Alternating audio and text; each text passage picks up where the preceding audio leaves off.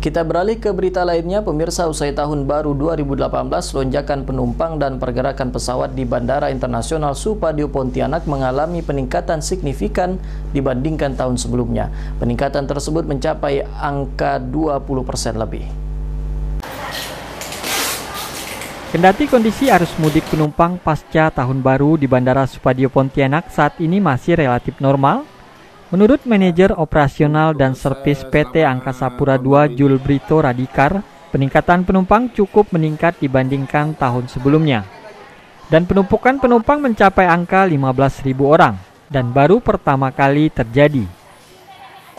Kalau kita perhatikan dari data-data yang ada, eh, penumpak, penumpukan penumpang eh, atau lonjakan penumpang itu bahkan pernah terjadi sampai di angka eh, 15.000 dan ini baru pertama saya kira terjadi eh, pada Hamin Hamin 3 sebelum Natal itu bisa mencapai 15.300.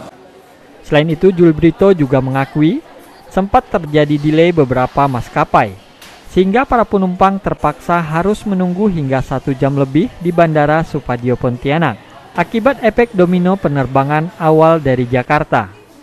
Dari Kabupaten Kuburaya, Faisal Abu Bakar melaporkan.